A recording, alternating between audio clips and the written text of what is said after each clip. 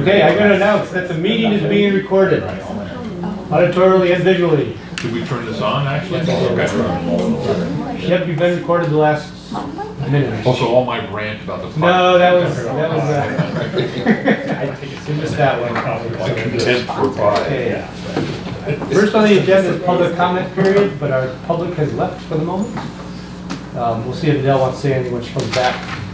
Um, I'll take a motion to uh, re- review and approve the minutes of uh, February 12th, 2019, unlike what the agenda says. I'll move acceptance of the minutes. You weren't even here.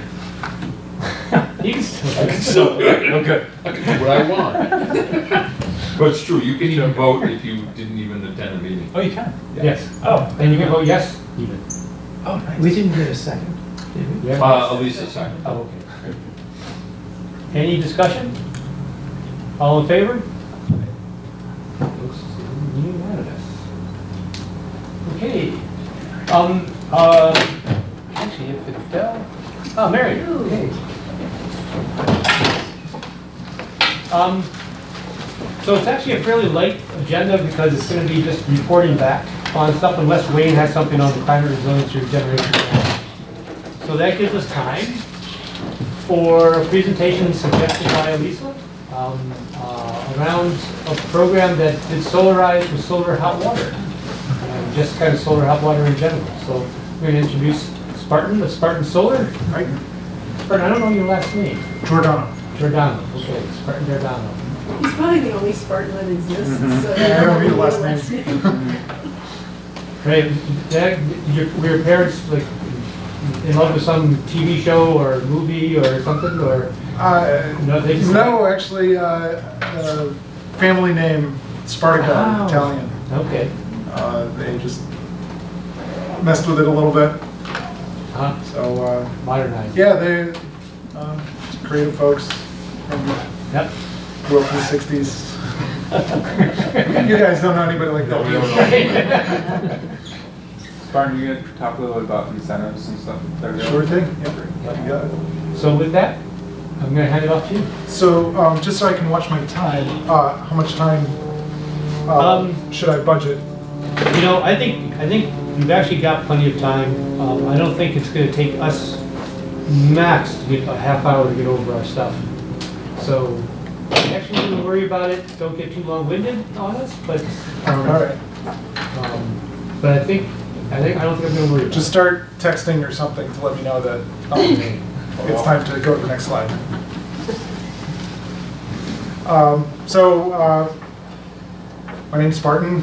I uh, started Spartan Solar. We install solar hot water systems uh, um, and uh, service them. I started it in 2014, been in the solar hot water industry for about 10 years. Uh, Originally getting my feet wet with solar hot water and not literally, uh, 10 year, uh, 10 or 12 years ago with Co-op Power. Um, And uh, um, we have uh, a small company, two employees. Uh, We employ quite a few different subcontractors for our work. And uh, we've made it our mission to reduce our carbon footprint using this technology. Um, And at any time, if you have questions, you know, just interrupt me. Uh, Used to be a classroom teacher, so that's not really different. Um, So, thank you. Thanks for having me here. Um, um, So, uh, last year, we installed probably about uh, 30 systems or so um, throughout the valley um, and uh, serviced quite a lot of other systems. We keep a lot of systems going in our fleet, and um, uh, we we focus on domestic hot water, uh, while there are other applications for solar hot water, uh, like pool heating and space heating. Uh, we enjoy being in the domestic hot water uh, part of things in particular. Just to cover the basics for anyone who doesn't know, uh, we have a couple of panels on the roof, maybe three or four if- or larger families. Um, And uh, we have a large tank that serves as a thermal battery 80, 120 gallons in the basement. Uh, There's a pump uh, shown sort of right about here.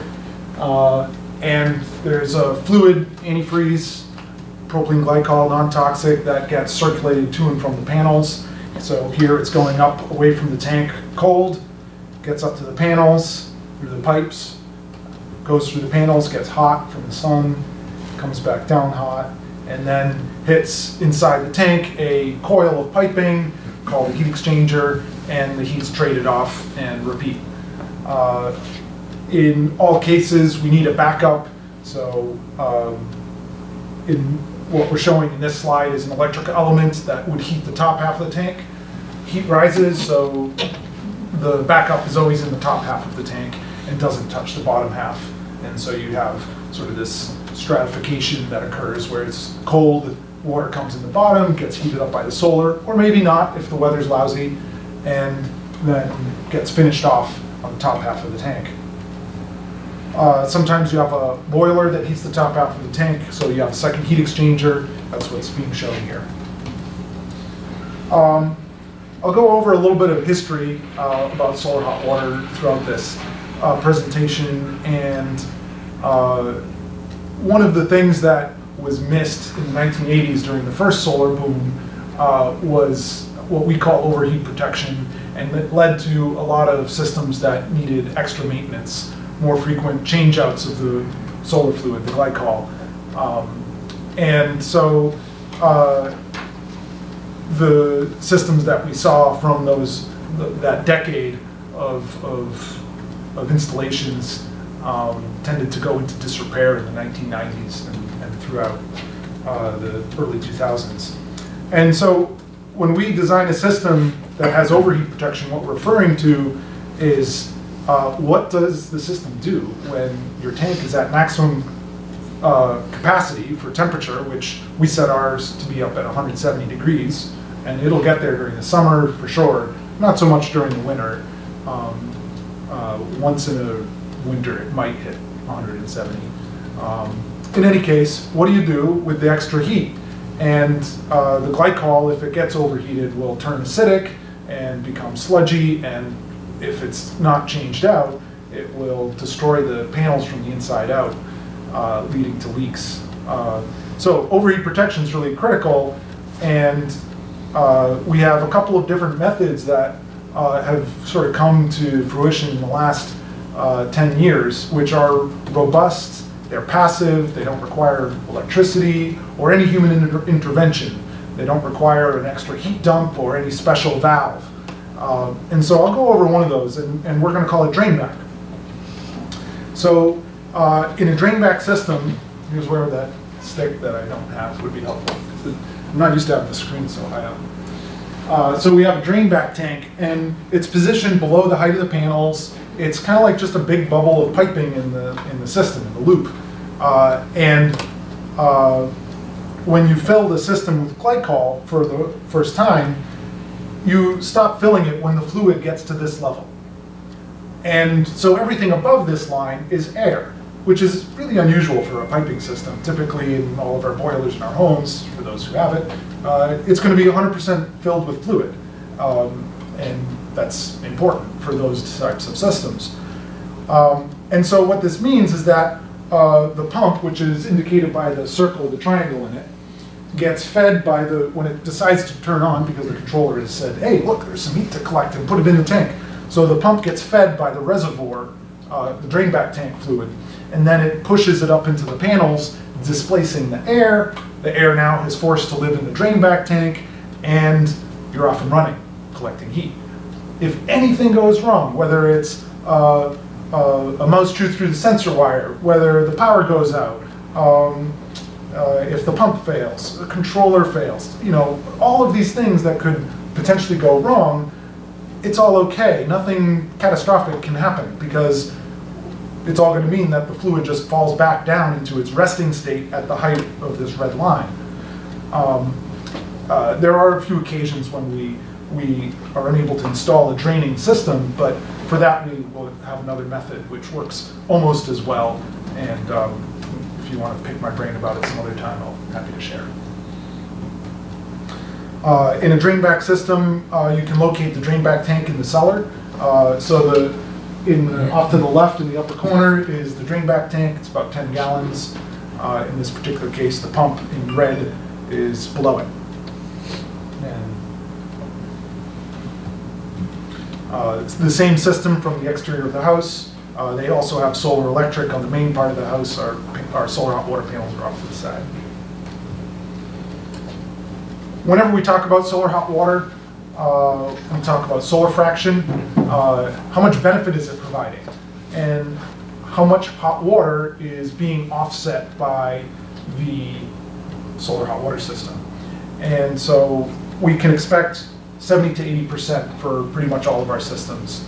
Uh, It's always a black box to us how much hot water a household uses, but we'll use a rule of thumb number of 20 gallons per person per day of hot water. If you think about it, 10 minute shower for most people every day, and maybe two gallons per minute flow on the shower head, there's your 20 gallons per person right there. For coming up with these numbers, we uh, have sophisticated computer models, uh, which when you plug in the weather data, the sighting conditions, and the panel brand, and so on and so forth, we're always coming up in the 70 to 80 percent range. Um, And, um, uh, and that's when we designed it appropriately. That's, that's of course, you know, that included. Another big stride forward uh, in pretty much all uh, trades these days is data logging and, and connectivity, and solar hot water is no exception. Uh, It's perhaps more critical than many other trades because uh, the solar hot water system is invisible to us if you have a backup going, which is to say if your electric element or your boiler is heating your hot water, that might mask and hide a problem with the solar hot water system. Uh, of course, you could always turn it off, and some really uh, energy efficient folks do shut off their element or boiler for the summer, uh, and that's great. And then you might notice that, hey, I'm not getting hot water and it's been great weather. All right, something must be wrong with the solar water system. The data logger solves that uh, as long as you have the internet connection, and so it'll send us an email alert if anything goes wrong. Uh, Here's a, a splash page for a system we installed in Amherst. Um, This particular system, we did a deluxe data logging package, which is above and beyond what we would normally do, and we put in sensors everywhere, and and flow meters and so forth. So we got some actual BTU consumption numbers, which is difficult to acquire. Um, And so we can actually know what the solar fraction for this system is, as opposed to sort of just going by the software and the, and the rules of thumb. So uh, the, at, at the time that I took this screenshot, um, which uh, looks like it was April 2017, um, according to the calendar there, we had a solar fraction of 82%. And that represented, I think, uh, a full year of data for this system at that point. Um, And, uh, oh, so, uh, I'm sorry, the lifetime is 81%. A- That particular month of April was 82%. And so, uh, according to the, that year, they, the- this family of five used 37,000 gallons of hot water. Here's the screenshot uh, for that system of the schematic. Uh, And uh, this probably is, I, I chose a, a particular moment in time when the tank was fully satisfied. So um, on the left, we, uh, or maybe I should say the middle, here's our solar tank, you have your internal coil uh, right here, and uh, the drain back tank is shown there. Uh, It's a preheat system, so there was an existing heat pump hot water heater, which is now being fed by the solar tank. Uh, And as you can see, the system has maxed out at 170, uh, almost evenly top to bottom. And that's what we like to see.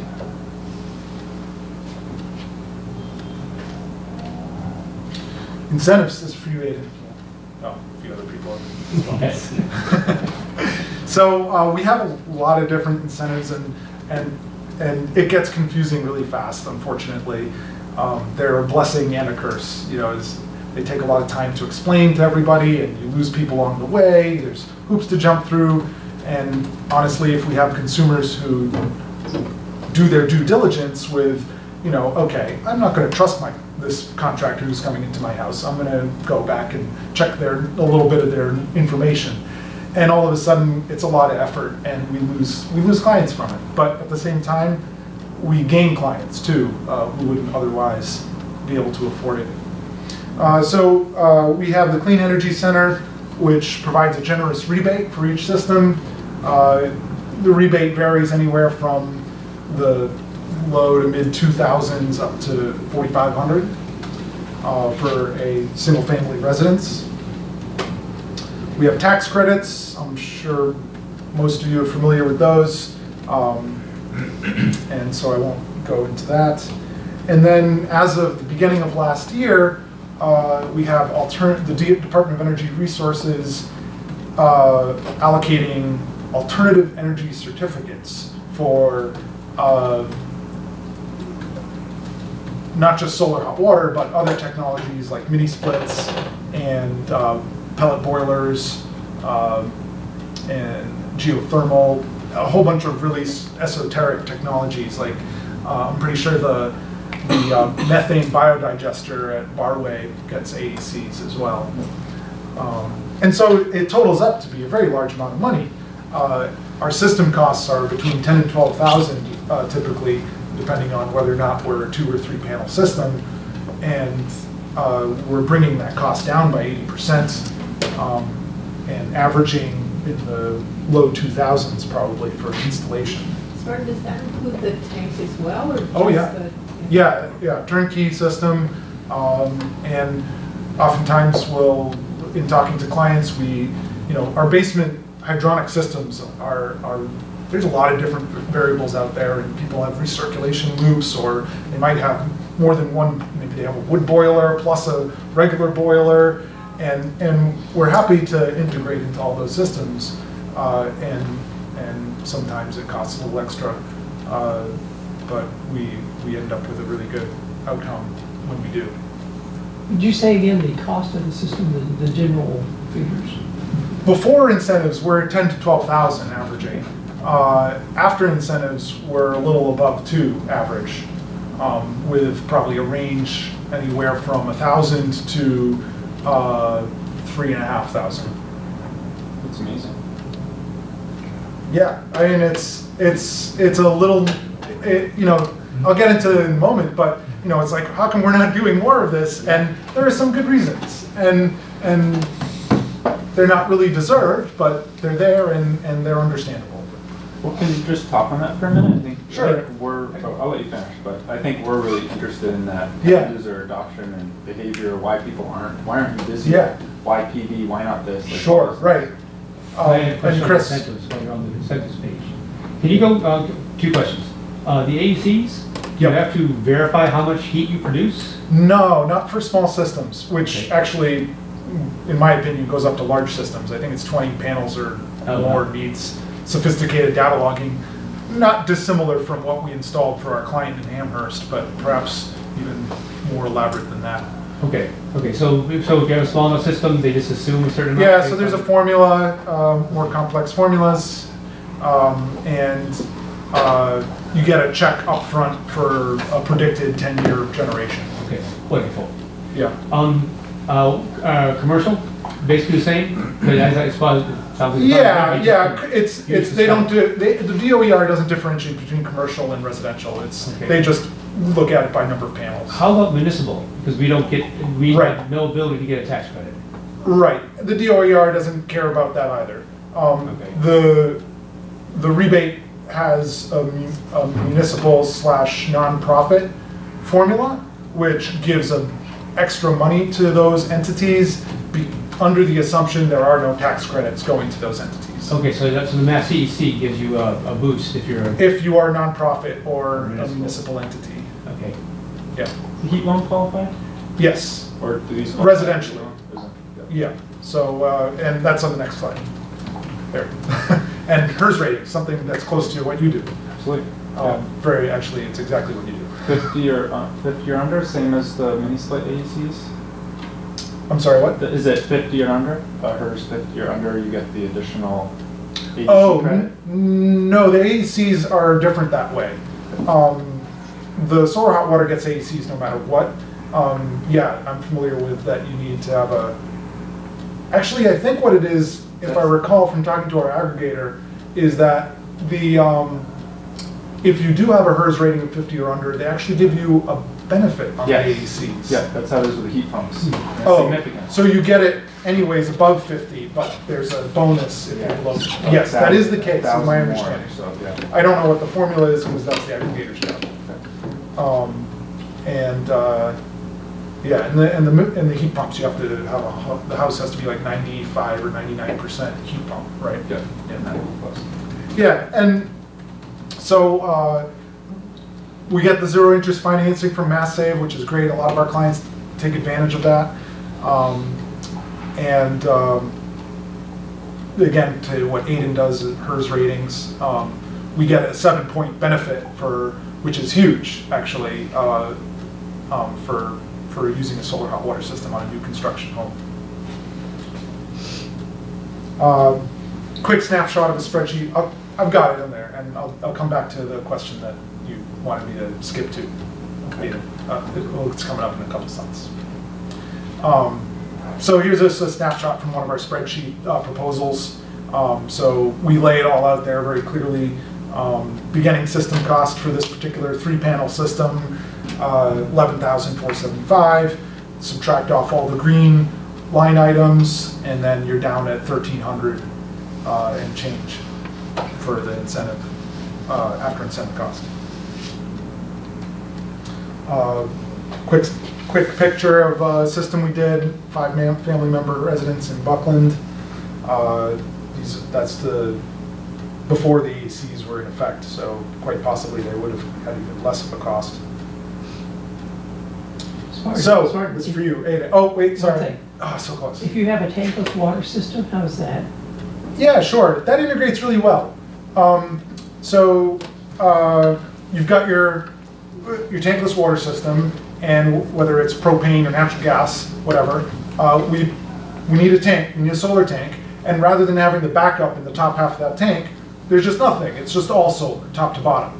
And so then the hot water or preheated water, whether it's 170 or 50, because 50 January 3rd and it's been a- two weeks of clouds, uh, so then it comes out and it hits, uh, well, it, it ultimately hits the, the on-demand unit. But actually, in between there, you need a mixing valve because the on-demand units uh, typically have a threshold for how hot the incoming water can be, um, which, uh, depending on, we always check in with what the manufacturer's specs are, but it's anywhere from 120 to 140 uh, typically.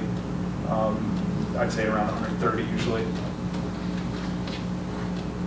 So we usually, when- whenever we install these systems, we don't want that 170 at the faucet, so we have an anti-scald mixing valve to protect the, the users, the the people. So, Aiden's question, how can we make this happen? What's, what's the, what's the logjam here? Um, and, uh, it's, it's no secret that solar PV has stolen the spotlight here. Um, and, and deservedly so in a lot of ways. If we had to pick uh, an either or situation, all right, you have to have solar PV or solar electric in all of Massachusetts, which do you choose? Well, I think it would be solar electric because we can do this. We cannot do this with solar hot water. Um, because all of our energy has to be used locally, on-site, within a couple days, um, maybe three, uh, if, if you've got some really good conditions in your tank and, and thermal picture so forth. Um, and so we're, we're always installing these two and three panel systems, job to job to job. Sure, once in a while we get a commercial system, which might be like eight or 12 panels. And still, you know, we can't get to this sort of, you know, massive, keep multiple crews busy for a month type job, which is extremely profitable and easy to manage from a solar company's point of view. And going back into history, uh, 10 years ago, solar companies existed, and they did both solar hot water and solar PV. And most of their business was in hot water because the incentives didn't exist for PV yet. The technology hadn't made this exponential growth in efficiency and development of the product. And so we had companies that were doing both, and that was great. And and one thing that's really got to be made clear is that they are totally different technologies. You know, rectangles in the sun. That's it they have that they have in common. and and that's why this slideshow is called Best Rectangle for the Job because ultimately we don't have this either or decision to make. We can have both. And the best rectangle for the job for heating your hot water is the solar hot water panel. We produce more energy with a solar hot water panel per square foot by a very long shot by comparison. The trouble is, it's all in BTUs. And so it's not flexible. And so we only have this one small piece of the pie.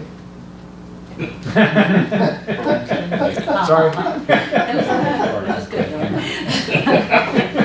It is Pi Day. It is, that's what I, that's what I thought we was talking about. It's all All the coming around. pie. You missed the wine. Don't rub it in. Yeah, had to bring it up, sure.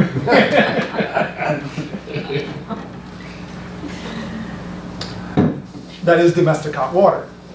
And it's a worthy chunk of the pie. And particularly for, as Aiden can verify, for new construction homes, as we bring down our heat load with super insulation and airtight house construction, now the fixed uh, energy use, which is inflexible uh, for the most part, unless we really have a cultural shift, uh, is domestic hot water. That's going to now become a larger portion of the, sorry. And Aiden, what, maybe you even have some numbers uh, off the top of your head, like as we are getting to those super insulated houses, what fraction is is domestic hot water taking out of the energy picture of the house?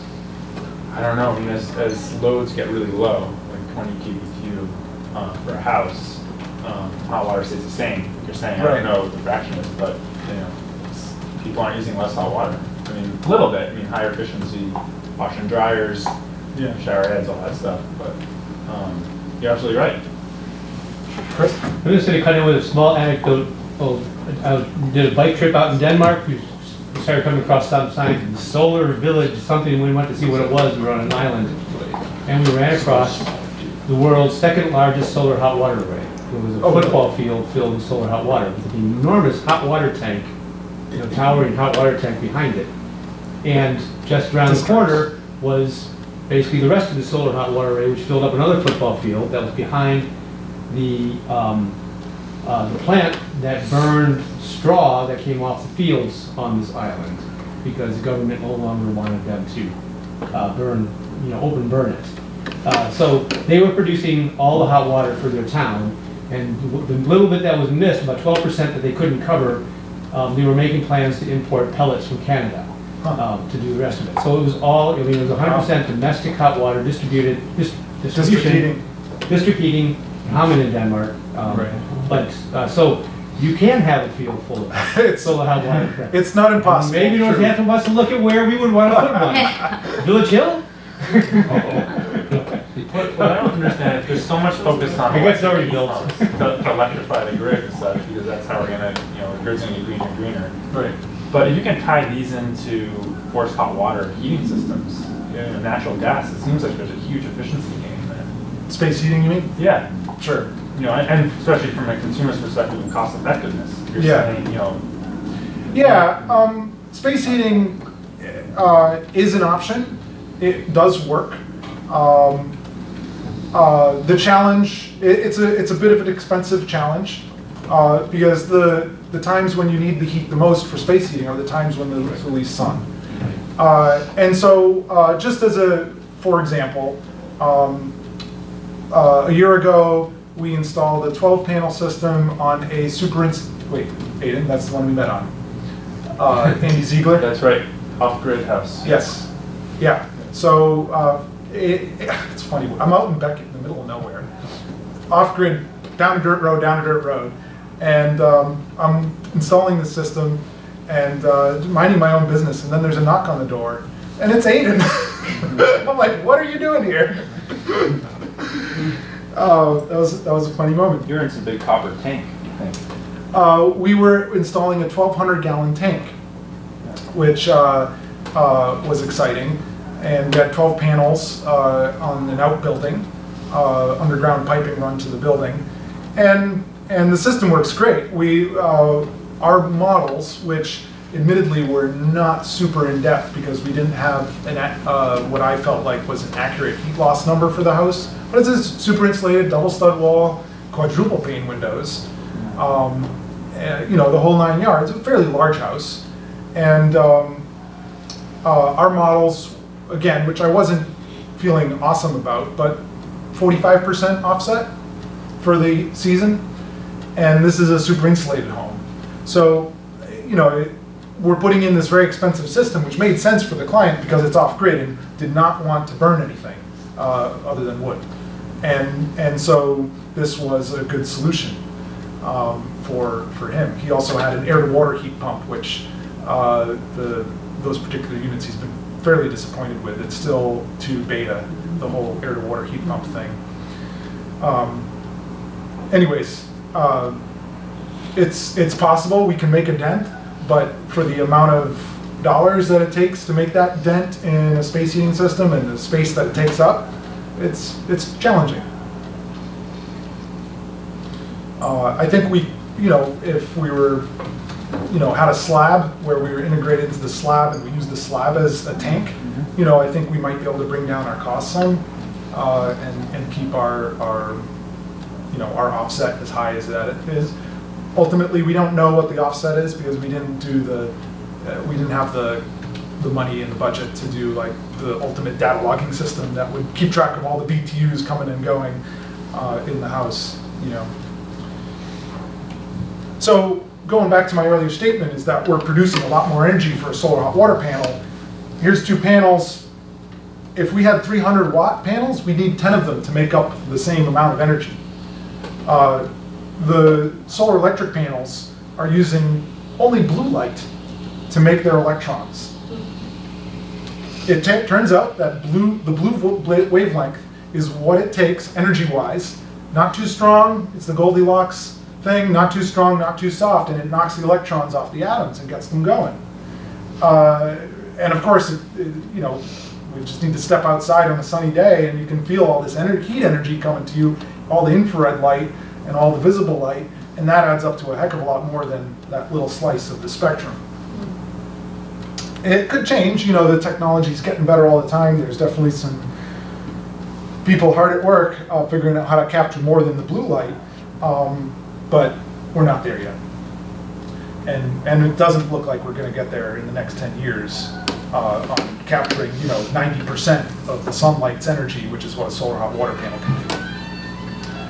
Um, so ultimately, uh, the solar hot water system, particularly with the incentives being fair, you know, to both uh, technologies, which currently, um, you know, it- it's hard to do apples to apples, but uh, they actually are not very balanced uh, per uh, megawatt of incentive. Uh, what's the right phrase? Per megawatt of energy generated, the incentives for PV are stronger than solar hot water. Uh, um, on the other hand, if you had to pair uh, solar PV with a battery bank, which would be the equivalent of a tank to us, to solar hot water, then things get way more in favor of, of the incentives for solar hot water. And that's okay, I, you know, I'm not complaining or anything. Um, and the incentives are what they are, for the most part. Uh, Or From another point of view, from a householder's point of view that wants to drive down greenhouse gas emissions, investing in a solar hot water or investing in a PV system? The money, money spent, how much, who's gonna drive down the greenhouse gases? I mean, it really depends on, if everybody's using oil. Yeah. everything, say. Yeah, so it depends on, on, uh, what Given- kind of, of infrastructure is, how it's sort of like sized, you know? If you have, uh, a large tank that takes the electrons from your, uh, PV system and is able to store them as BTUs in your tank once the sun goes down, then you're doing well. Uh, and, but that's not really the way things are panning out. most people have panels that are, are at a shallow pitch, so they're not really, they're designed for summertime collection, maximum annual output. Uh, For PV. Right, for solar electric. And the tank size is, if it's uh, using electricity, it could be a heat pump hot water heater, like where I was Well, about actually, to speak yeah, I wasn't thinking of PV for hot water. Oh. I was thinking if I was gonna invest in one of the two systems, just to drive down the greenhouse gas emissions, sure, am I gonna get more bang for my buck by converting my hot water to solar? you're gonna do Or- both. It's not an either or. No, no, no, no, but. But it seems like there's a balance, there's a, there's a, Totally, I, I, I totally agree, right. I, I have both in my house. Right. But, uh, but, um, uh, but, you know, the- the- that first investment, that's all I can afford. I, I'm just wondering, would you? It's not an issue because in both cases, you can take out a- either a zero interest loan or Okay, solar this is- loan. This is an Let's put it esoteric question. I re- I re- I re- I re- put it this I reject the question. Sorry. Withdraw the question. It's- You have a, it's- you go ahead, have a, you have a finite amount of roof space. Okay, So Ah. if you can't set off hundred percent of your electric Sure. load with the amount of roof space you have doing solar Sure. PV, should you give up some of it for solar and yes, water? that, that's, uh. I, I'll take that question. Okay. yeah. Yes, because, so we're gonna collect a lot more energy with the solar hot water roof space than with the solar electric panel roof space, you know? There, there's the sort of representation. So imagine when you put up those two solar hot water panels, that you're actually putting up ten more PV panels. And so now suddenly you gained roof space by being more efficient with your collection. The Um, challenge is you're talking to a PV installer or you, and you're not, you're not talking to someone, a designer, like an architect or Sure. designers, and saying, well, there's an optimum balance here. And I recommend this Right. hot water system and this electric, you know, services for your home. That's, that's what we need. Oh, absolutely. Yeah, I mean, we- we've, I- we've, at Spartan Solar, have made it our focus to network with builders and architects. And while it's, it's, you know, a big ask for a small company, you know, that's what we are doing. We have a couple builders who uh, are part of our network who, when they build a new super insulated home, we're there. Uh, We're installing solar hot water and, uh, and then the PV is going, uh, you know, around it. Because typically we, we kind of have a, more of a restriction on the roof with piping uh, requirements. Isn't that one of the reasons why it's unfortunate that PV companies are continuing to? True, true. I mean, it's the, it's the perennial challenge of, of contracting, which is you, you have some goal for your house, uh, like energy efficiency, and you talk to your insulator, you talk to your, your uh, mass save weatherization, uh, you talk to uh, the PV guys, the heat pump guy, the HVAC, and you get all of these different numbers, but there's no one person saying, okay, this is, you know, your lowest hanging fruit for you. It's, right here. well, if, if somebody brings in... It in, has to happen early. it has to happen early, and certainly on a design for a new building, that's happening almost categorically now. Hmm. I don't know, I mean, there's a lot of information here that I didn't know, and, you know, it just, and that- it comes down to finances, right? So a builder's not thinking about incentives, and that's a real part of why this makes sense. Eighty percent, so True. I'll, I'll pitch, any house that looks like a good match, I'll pitch it, right now, you Cool. from now on, but I didn't know. All right. Spartan, how many, how many other companies doing solar hot water are there out there? Um, probably throughout the state, under a dozen. How about in Western Mass, this area? Uh, I know of, uh, I have probably two or three competitors, Yeah, so it's very, there's less. There's and, fewer. and I would easily say that we have the lion's share of the market. Uh, it, it's a, it's, you know, solar PV has siphoned away the talent, you know, and again, I, I, I'm not complaining, it's deserved, you know, the, uh, we're making more gains overall that way, but at the same time, we're also, uh, we're, we've lost sight of a technology that, you know, deserves to be, uh, you know, kept on, in the mix. Uh, I'm also going to notice the time, just wondering how many more slides you have, or are we kind of getting into the question and answer period?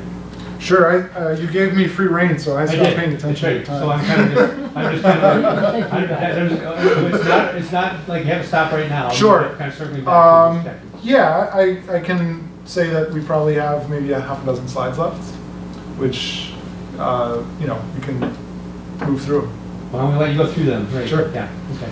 Um, heat pump hot water heaters are definitely what are being recommended for our uh, super insulated homes, I think, in a lot of times, and for our retrofits where people are uh, trying to go green and trying to get off fossil fuels.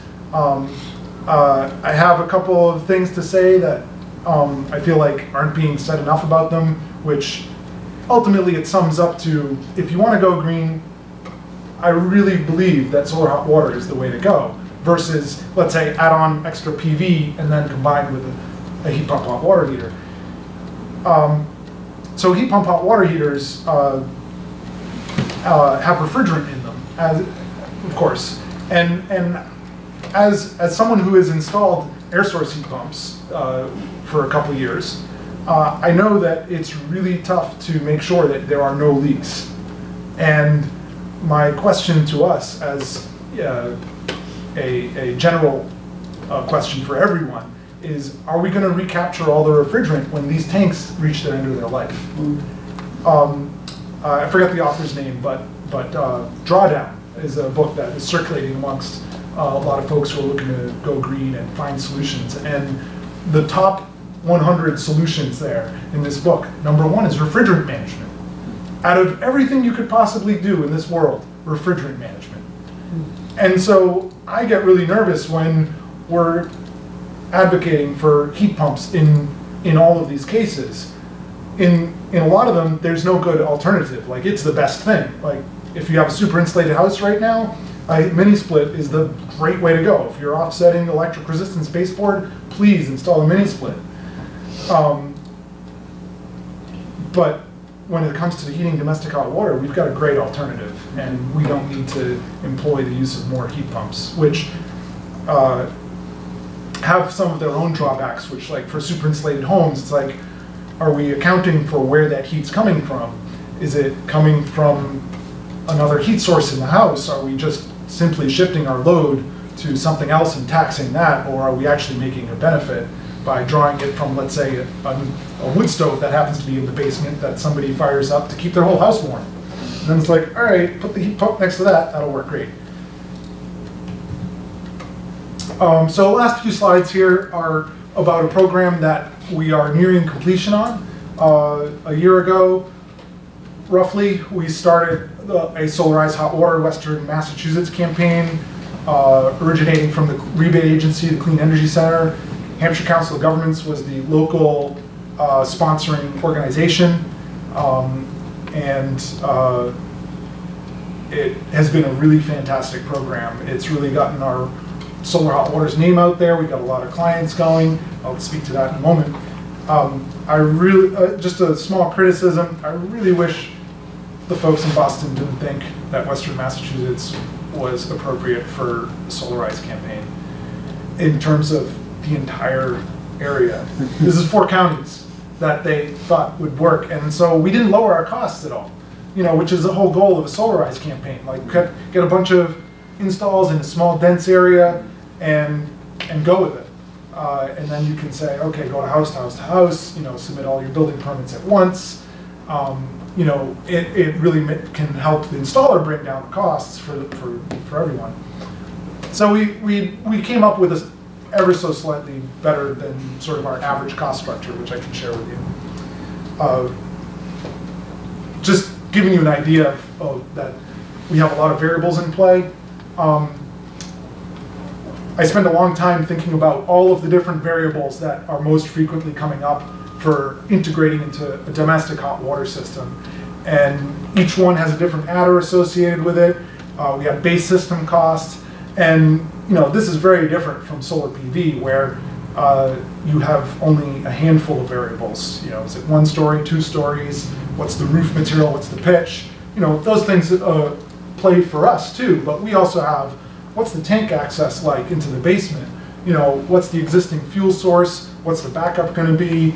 Is there a recirculation loop? Um, you know, uh, are we, is there a large tank that has to come out that's gonna, you know, we have to spend an extra time getting rid of? All of these things go into it and, and we formalized it, which was a real great thing. I actually, after doing this, this is all I use now. Uh, I, you know, I didn't use, I used to just do it ad hoc. So it's been really working well. Overall, we got, uh, here's some numbers to share with you about the entire project. Um, uh, Hampshire Council of Governments uh, did only a small amount of outreach, and we still got some great numbers. Um, We had uh, uh, minimal attendance at our um, solarized meetings, but I think a big part of the reason why it was challenging from this point of view is that, again, how are you going to organize a solarized campaign for four counties, where, with Berkshire being one of them, uh, which is huge, biggest county in the state. So, um, you know, the, the numbers here could, I think, have been a lot higher.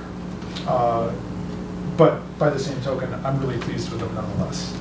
Uh, Ran a couple other few numbers, so average system costs uh, for, for the systems as part of this uh, program was just over 2,000, and uh, we're offsetting a whole bunch of carbon. Would you say something about the cost of these systems, running them? Are you, are you saving money by having the system in place as well as having? Sure. Yeah, um, I didn't include information on that because it's a very com- complicated topic. You know, again, PV has it a lot simpler. Electric bills are, even if you're National Grid to Eversource, you're paying roughly a similar, you know, 18 cents a kilowatt hour. Uh, but, you know, you can go from uh, electric resistance, which if you had a family of three or four, you might pay $1,000 a year for your hot water, uh, maybe even 1,200, uh, depending on usage, uh, which remains a black box, as I mentioned earlier, uh, to natural gas, where you might pay uh, 100 or $200 a year for the same family. And so cost structuring, uh, payback, you know, we have it in our formulas embedded in our spreadsheets that go out for our proposals. But it gets wicked complicated, which again hampers our ability to sort of market.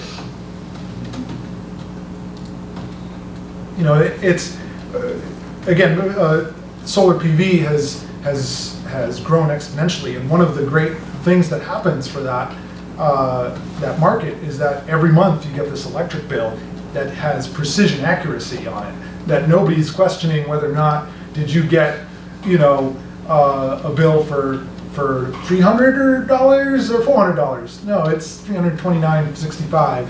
And, uh, if you have PV on your house and you're zeroing that out, uh, boy, isn't that something to talk to your neighbors about? You know, hey, look at this bill, negative. you know, we, we have nothing that is month after month after month after you're done with the job, giving people that thing to talk about.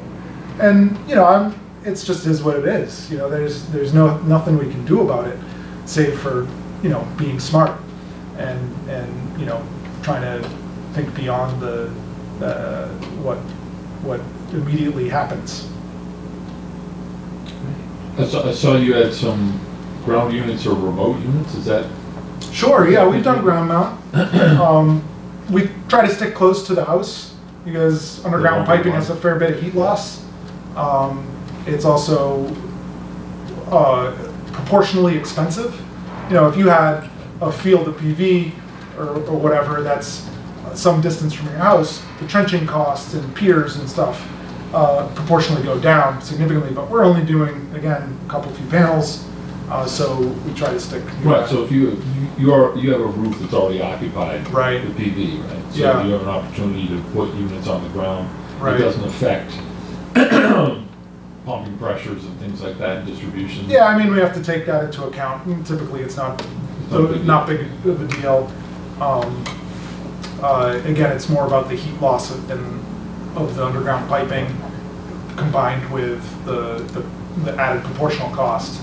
You know, the, um, the, if you, if you think of, you might need four piers, and as a contractor building decks or whatever, you're gonna get three hundred bucks a pier or something. You know, a thousand dollars bump on a system that's eleven thousand is proportionally significant. Um, Well, or, or an alternate roof, lower roof. Yeah, And and, we at a different definitely, angle, uh, we definitely can do better than PV in energy collection because we have a larger spectrum to grab. So, uh, rules of thumb in the industry are that you need uh, eighty percent solar access or better to make solar PV Right. uh, shine. Uh, We're go down as low as seventy percent um, and still do pretty well.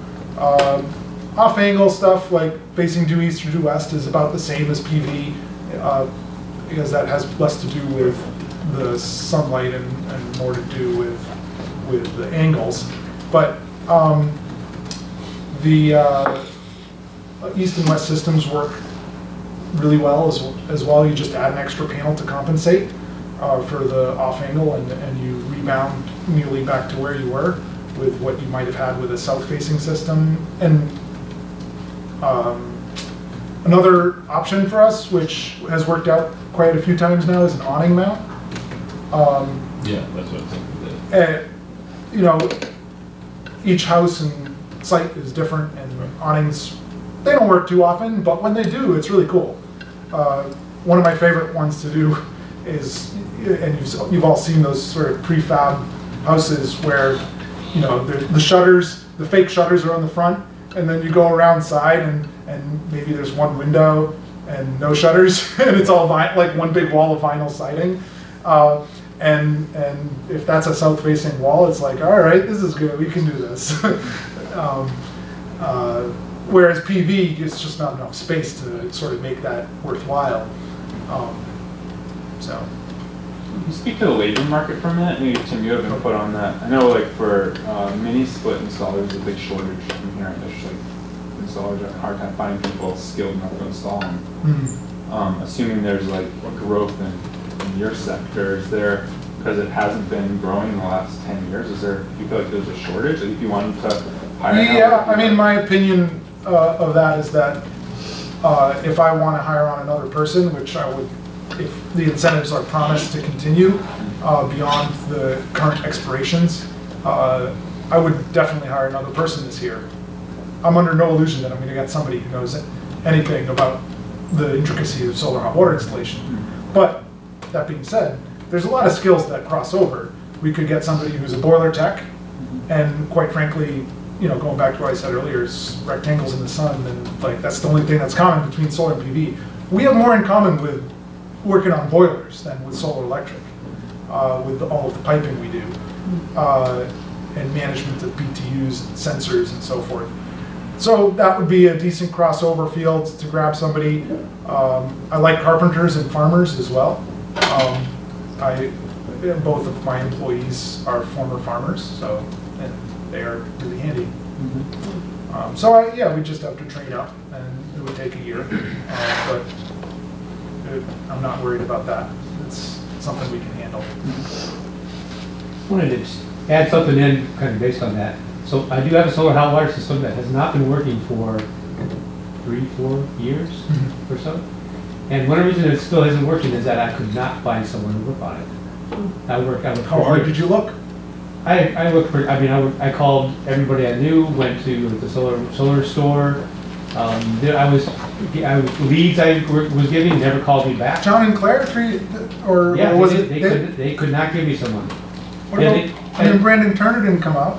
Yeah, a, a name was mentioned, I won't say who it was, and I tried contacting them multiple times, and they never got back to me. Uh, so, uh, actually Spartan's coming out to my house tomorrow. Because these, and, and, but also I heard was other people who would say, I don't work on someone else's systems. So that was another comment I heard from some, uh, some installers. Uh, they basically said, yeah, we put them in, but we don't work on anybody else's system. So, just labor-wise, Yeah. there's a dearth It's an issue. people to work on older systems out there. Uh, and it's nice to have at least one company that does. you know? Yeah, we're, we're not shy about working on a huge variety of systems. uh, And, um, I probably shouldn't have said this before we come up with a contract. I mean, the, so, this isn't, this isn't a new situation for solar hot water. Uh, going back to what I said at the beginning, uh, with the systems from the 1980s. They, they required a fair bit of maintenance, those systems. And there are, on the other hand, still systems from the 1980s that are in our fleet that are running, and they're cranking away. You know, 35-year-old panels, no problem. Uh, so we look at those systems and what, did these people do? How did this go right?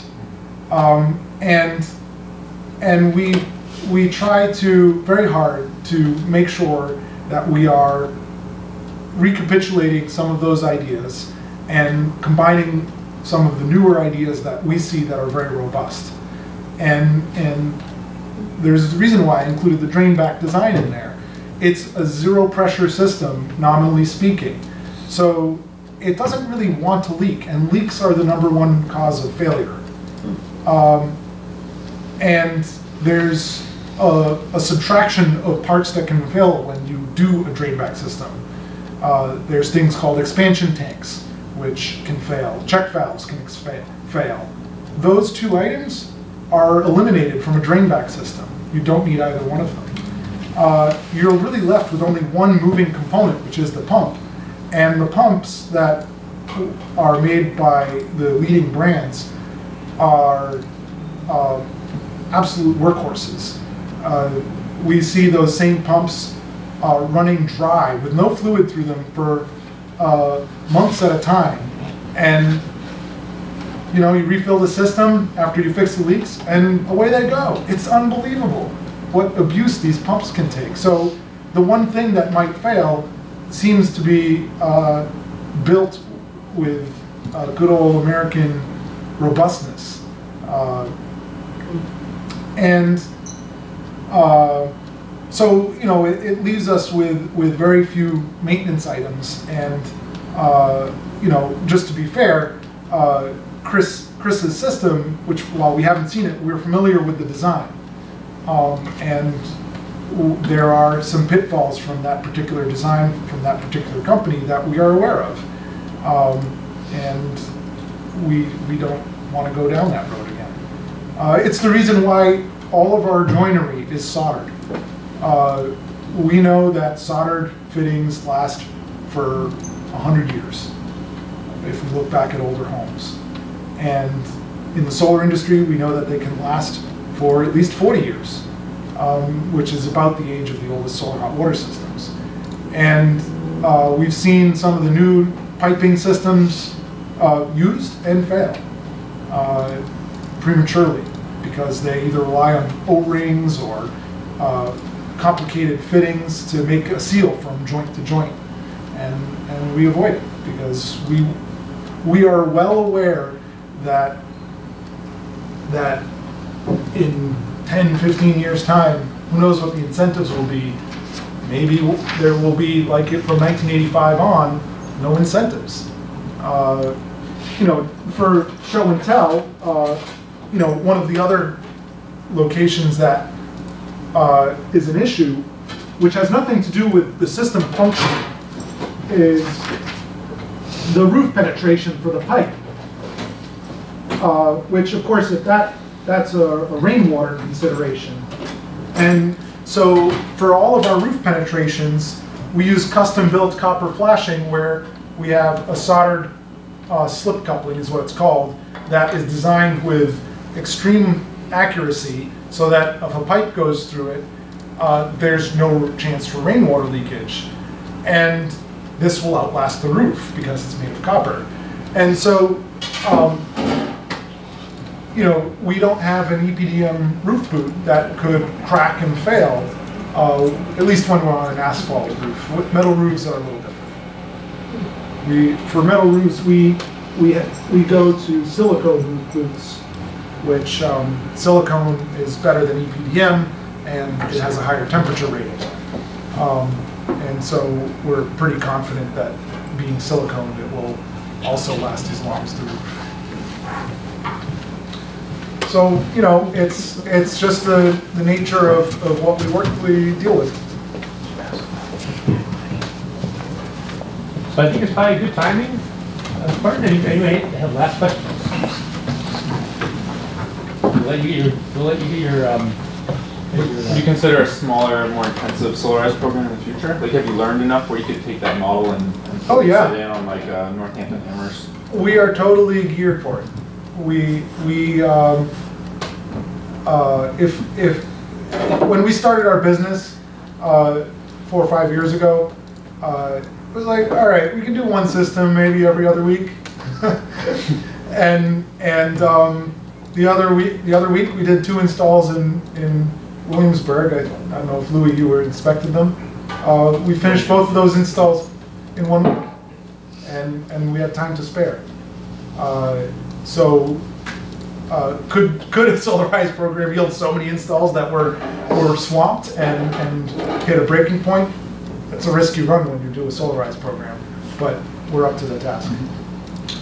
Question, what about integrating with, uh, uh, like gas-fired uh, electric generating systems? I mean, they basically heat water and process it through a gen, through a steam, you know, turbine, steam turbine generator.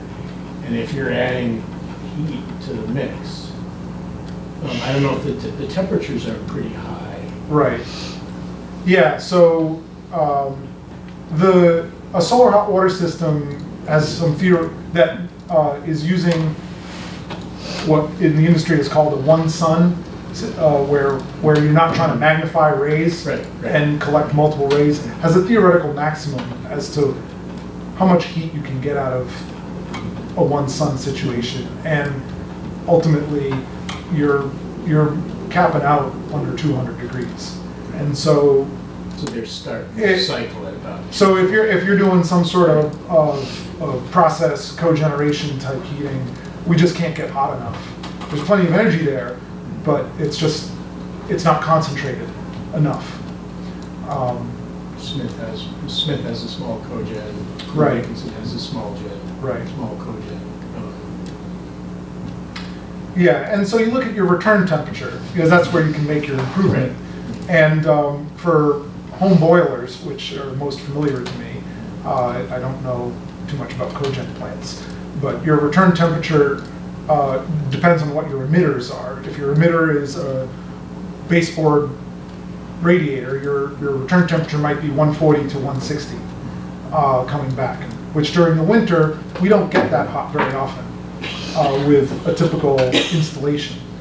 Um, Now, on the other hand, if you had a radiant floor, which is essentially a requirement uh, if you're going to try to do space heating, solar hot water, then your return temperature could be as low as even 80. Uh, And now you can really make an impact. So I'll also mention that um, we're looking at uh, domestic hot water boilers at the high school need to be replaced. And um, uh, we're looking, uh, and, and- and it's way oversized now um, uh, because the use of hot water's gone way down in high schools. Anyhow, the short of it is, we looked at air source heat pumps. Um, The electric upgrade made them, uh, needed, made them too cost prohibitive. So we're now looking at solar hot water, uh, with the the boiler being, uh, one of the boilers being a backup. Uh, So that we basically, in the summertime, we probably can turn, keep that boiler turned off. In wintertime, the boiler's running anyhow, um, so, you know, then we don't need that big of a system. So we're looking at that a little bit, and actually, Yeah. Charter's gonna help us start to look at it. Yeah, I I haven't had the time to Right. dig at the numbers yet. Um, My off-the-cuff thoughts were that um, if a laudable goal uh, is to shut down the boilers Yes. uh, for the summer, um, which would be probably not okay to do, because if you would, if on the off chance there, the solar hot water hasn't provided enough heat during whenever that boiler is off, you're gonna have some pretty unhappy people. Um, Well, we'll- we'll if, with the boiler off. Maybe it would work out, but, but I'm being conservative. No, I think the boiler, yeah, I think what we'll talk about it later. The, the idea is that the boiler would be a backup, and it would be off unless it needs to, turn- unless it needs to. If it's a come on. cold start boiler, it could be off. Yeah. I don't know if they are or not. I believe they are. Oh, okay, so then, I then mean, that they're- would work out okay. I mean, they are turned off all, su- every summer. Right. Right, well, now they are because you have direct fired hot water. Right, So y- your boilers can be shut down. yeah. But my guess is they are probably not cold start boilers, being that they're large. Okay. But I don't, that starts to stretch my knowledge. Okay, yep. And there I are, would- there are, there are very large hot water tanks up there. I would suggest that if, that for the backup to, if we're not able to move to electricity in some form, which it sounds like we're not, then have one direct fire tank be the backup. And we would uh, use the volume of that tank for solar as well, and we would have a solar tank as well. And then the solar could shut down the, just by temperature wise, and it would be automatic and passive, shut down the direct fire unit, um, because it's integrated to it. And then, and, but at the same time, if, if the solar, you know, last August was particularly rainy and, uh, for our, for our summers, and, and, and so if that type of scenario, when a bunch of people came in and wanted hot water, no problem, that, that would be ready to fire up, and it would be firing up without having to have like a big boiler fire up. Okay, we'll, but we'll, yeah, Just- I'm just mentioning that we're looking at it, possibly have solar out water on high school. Okay, thank you, Ms. Barton. Thank you for having me. Um, Talk your ears off. Thanks for education. I'll, I'll leave some business cards up here. It's probably, I don't know how many It people. was, we did get a quorum, so, yeah, we did. and then some. Yeah, yeah, that's something, yes, right. Actually, Oh, Chris, since I'll be seeing you tomorrow, just bring back whatever is, Yeah, got you it, can just give it back to me. sure. But what we didn't get was Wade. Right, So, no way. private resiliency and regeneration plan, uh, I guess we will table that. Um, That's kind of a standing thing on our, our agenda, um, just in case. Um, Voting on the IECC, uh, 2021, I don't know, Bill, Lisa, do you want to report back? I I will defer to Elisa, she Okay. walked point on this. And then I'll, I'll, co- I'll go from the city's point of view. Um, so we, uh, we- Just a status report. Bye, yes, bye. we put- Thank you. Thank you. You're welcome. We put through uh, um, an order to the city council to uh, pay the membership dues to the ICC, $135. Um, And that is being taken care of. So that went through. The city council will have four votes. Um, And we're going to work in the coming months, and we have a bunch of advisors, including Chris. Um, But we're also working with, what is it called, the Metropolitan Area Planning Commission? Area? Planning Commission that has become kind of the gurus in Massachusetts of how to, how municipalities can participate in the process, helping us. um, So the next few months, we're gonna come up with a process by which we figure out how the council will either designate four people to vote, or if we have to come back to the council. The, the big issue is, is that we have, they publish the ballot two weeks before you actually have to vote.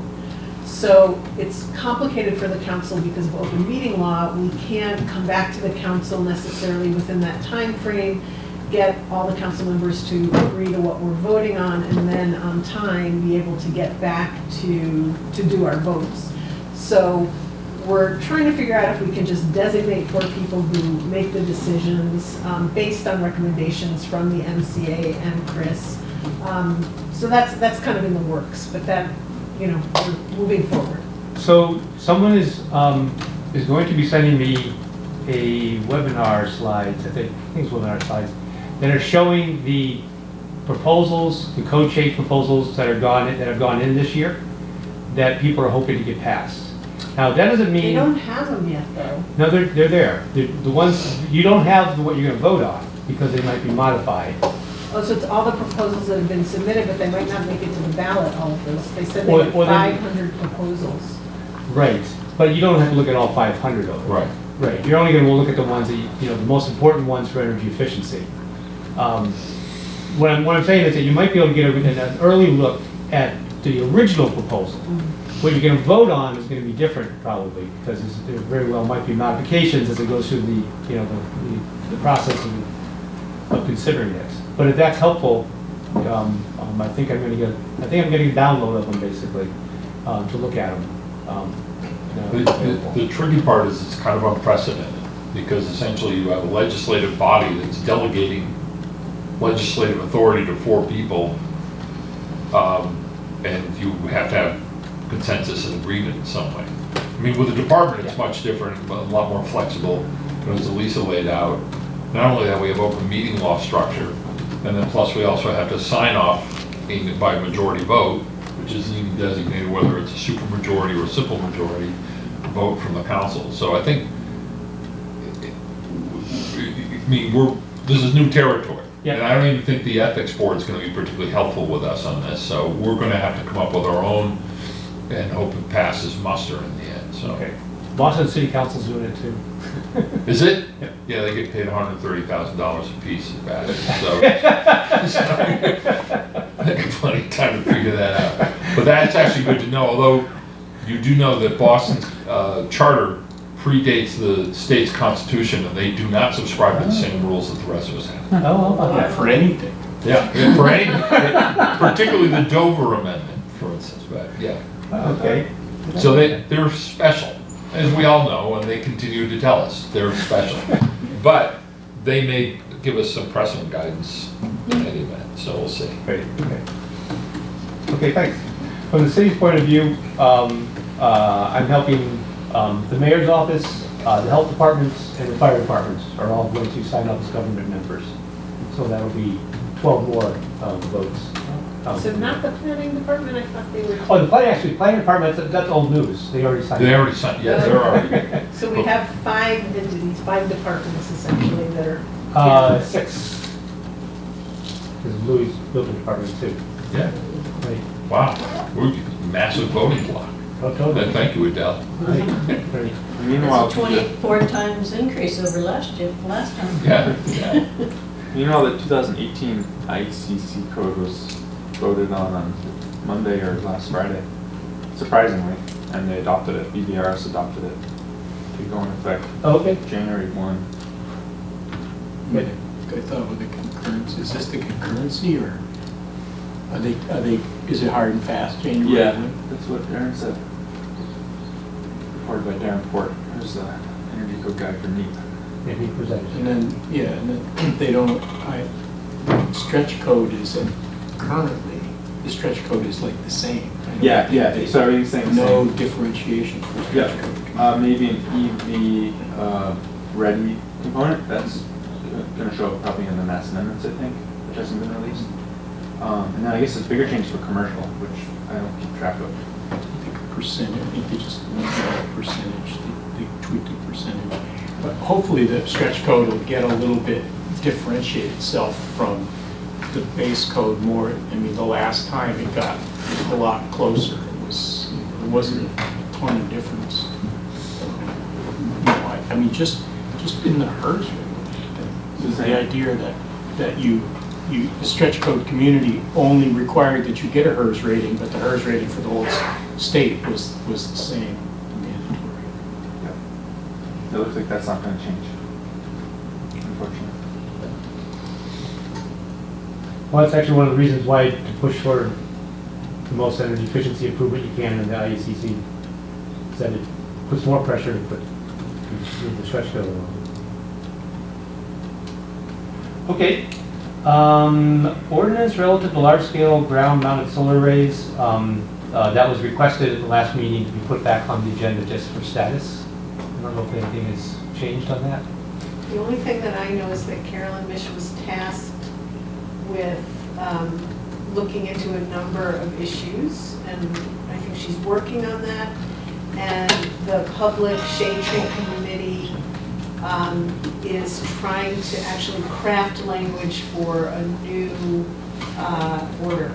So I don't know where they are with that either, though, but that's the last I heard. Actually, Rich is here. Yeah, Rich is here. do you know? I don't, uh, Carolyn is actually working on language, and she's actually trying to get uh, Alan Seewald's take on the new language before she rolls it out, to make sure that it's, And is she doing that with input, like I understood yes, from? yes, she has, she met with the, from your committee? yeah, she met with uh, Lily Lombard and Todd Ford regarding the issue several weeks ago. Okay. So I don't have any news. Should we keep it on the agenda for status? I status? think so. Yeah, okay. Probably, Yes, yeah. Thank Sure, you. thought so, great. Um, And that's it. I'll take a motion to adjourn. I'll make that motion. Second. Bill, you're good at jumping on that That's one. what I'm all over. All in favor? Aye. Aye.